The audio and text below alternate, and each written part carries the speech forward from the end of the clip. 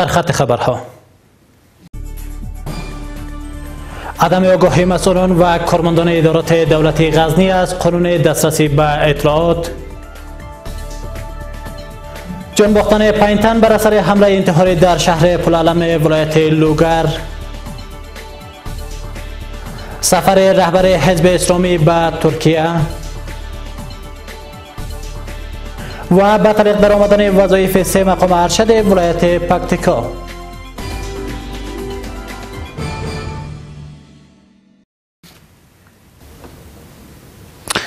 به نام خداوند بخشاینده و مهربان به خبرهای این ساعت از غزنویان خوش آمدید. امروز شنبه هفتم قوس سال 1396 هجری خورشیدی است که برابر می شود با 28 نوامبر سال 2017 میلادی و حال هم تفصیل خبرها. بسم الله الرحمن الرحیم.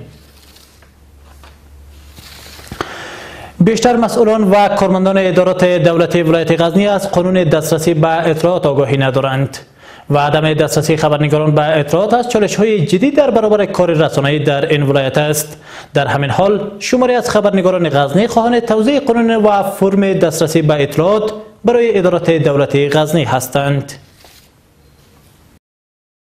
قانون دسترسی به اطلاعات در دوم ماه جدی سال 1393 خورشیدی در شش فصل و 32 ماده پس از تصویب توسط مجلسین شورای ملی از سوی رئیس جمهور غنی توشیح و نافذ شد اما هنوز که سه سال از توشیح این قانون در کشور می گذرد بیشترین مسئولان و کارمندان ادارات دولتی غزنی از موجودیت همچو یک قانون آگاهی ندارند و فرم های دسترسی به اطلاعات از سوی ارگان های مسئول به ادارات دولتی غزنی توضیح نشده است. در بیشتر مصاحبه هایی که تلویزیون غزنویان با مسئولین ادارات محلی غزنی انجام داده است مسئولین ادارات از این قانون بیخبرند.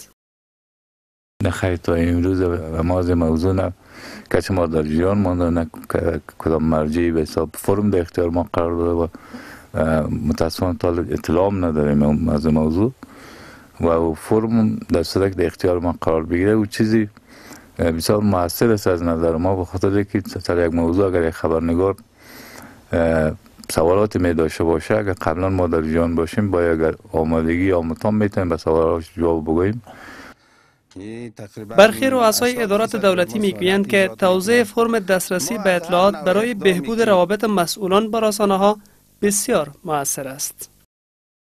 ما از هر نوع اقدامی که زمینه اطلاع رسانی را برای مردم فراهم می‌کنه. ما استقبال می‌کنیم ازش حمایت می‌کنیم. ما در خدمت هستیم.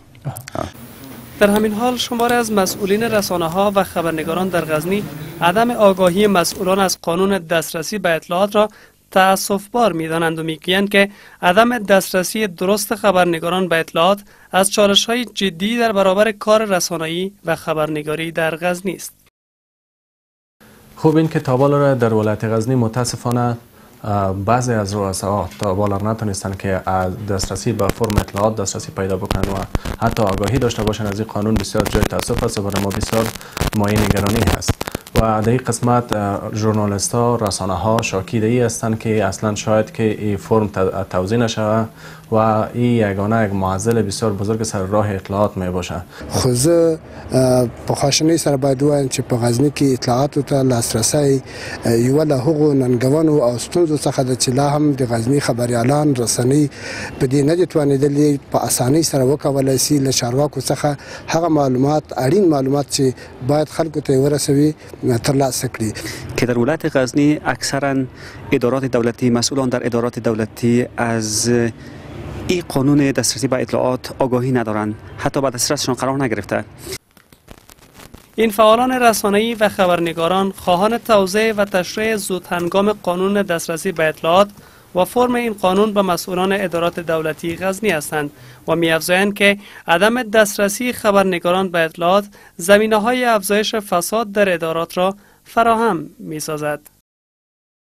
کاش کې دا فرم ورته زر واستوي او ترڅو موږ دا یو ستونزه را حل شي زه په په ډاټ سره ویل سم چې لا هم په غزنی کې دا ستونزه موجوده ده بدون شک زمانی که ما بتانیم که قانون به صورت درست در ولایت غزنی تطبیق شود از طرف مسئولین بلندپایه ولایت غزنی و مقام ولایت و فرم در دسترس اینا قرار داشته باشه و اینا مردم بتانن کمو معلوماتی که از پروژه هایی که هستن کارهایی که از که صورت می‌گیرن آگاه بسازن.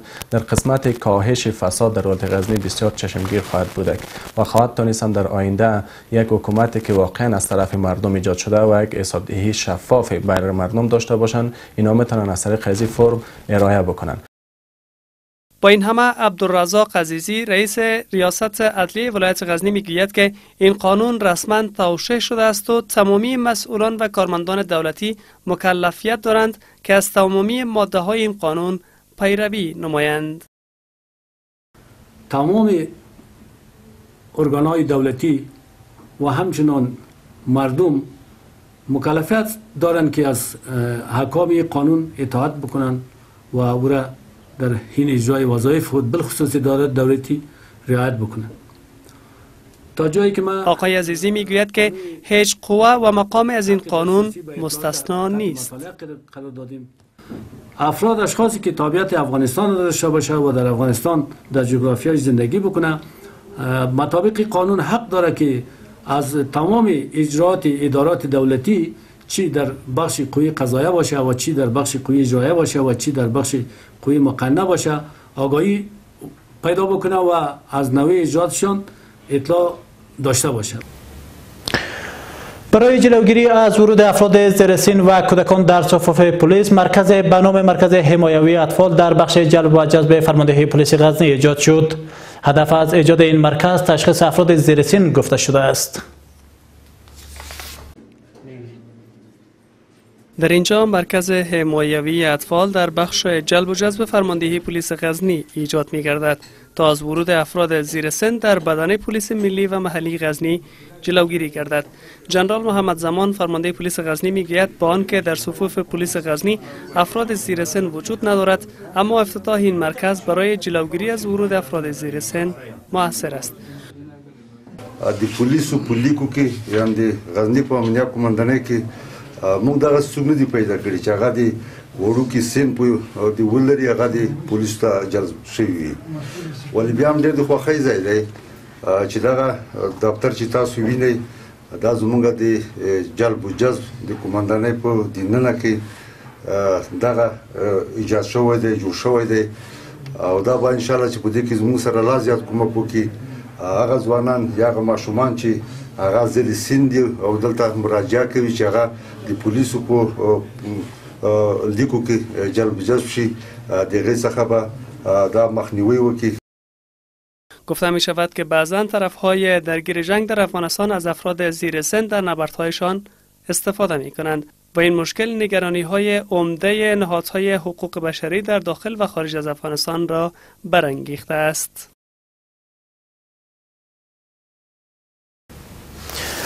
در حمله انتحاری صبح امروز در یک بازار شهر پولعلم ولایت لوگر بیش از پنج تن جان باختند. سلیم صالح سخنگوی ولی لوگر گفته است حوالی ساعت دو سی امروز صبح در شهر پولعلم مرکز ولایت لوگر یک حمله انتحاری رخ داد که بر اساس معلومات ابتدایی در این حادثه 11 فرد ملکی زخمی شده و پنج تن دیگر کشته شدند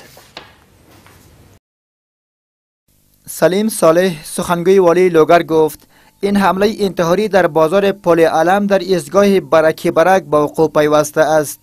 گفته می شود هدف فرد انتحاری محمد ایوب وردک آمر امنیت قماندانی امنیه لوگر بوده اما به او آسیبی نرسیده است. به گفته سخنگوی والی لوگر زخمیان این حادثه به شفاخانه انتقال داده شده اند. در میان زخمی شدگان که غیر نظامیان هستند وضعیت دو تن آنان نگران کننده است. و تعدادی که وضعیتشان وخیم گفته شده است برای درمان به شهر کابل فرستاده شده اند.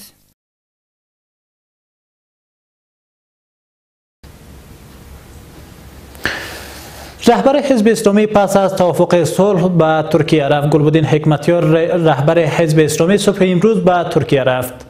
این نخستین سفر خارجی آقای حکمتیار پس از امضای توافقنامه صلح با دولت افغانستان است.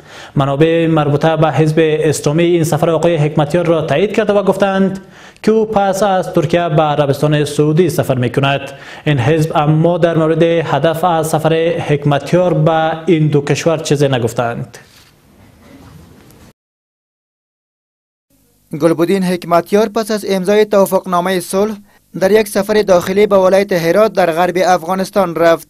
سفری که گرچند مقدمات زیادی برای آن تدارک شده بود اما حاشیه های جنجال برانگیزی را در پی داشت.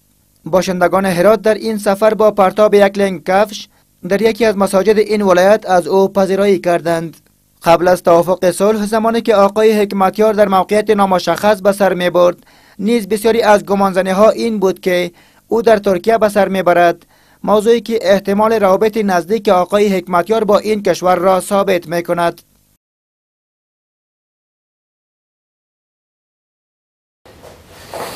وظایف سه مقام ارشد ولایت پکتیا تعلیق شد پس از یک درگیری میان دو فرمانده محلی پلیس در ولایت پکتیکا وظایف سه مقام ارشد در این ولایت به حالت تعلیق درآمد درگیری میان امیر حوزه اول و فرمانده قطعه رزرو ولایت پکتیکا که منجر به کشته شدن سه نفر و زخمی شدن 25 نفر دیگر شدند. وظایف الیاس وحدت ولی این ولایت اسدالله شیرزاد فرمانده زون 303 اسپنغر پلیس و محمد عظیم هاشمی فرمانده پلیس پکتیکا تعلیق شده است.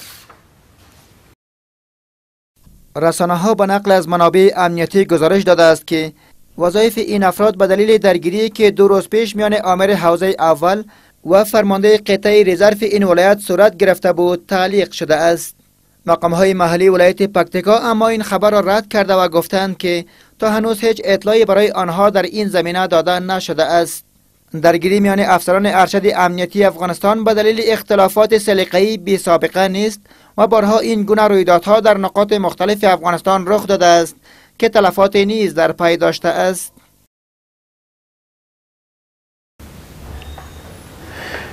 با تشکر از حضور همه تان این بود. اخبار تا این ساعت شاد موفق و پیروز باشید. شب روزتان خوش.